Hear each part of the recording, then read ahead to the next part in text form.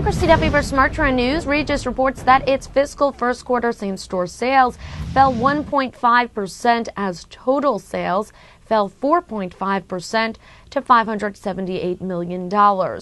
Excluding sales made at cost to a former division in the year ago quarter, the group said total revenue dropped by 1.3%. CEO Paul Finkelstein said, quote, We are currently testing and implementing multiple customer service and marketing initiatives, which we expect will result in improved customer traffic. I'm Christy Duffy for SmarTrend News. For more news and market analysis, make sure to subscribe to our YouTube channel, Trade the Trend. Also visit our website, tradethetrend.com, for more headlines.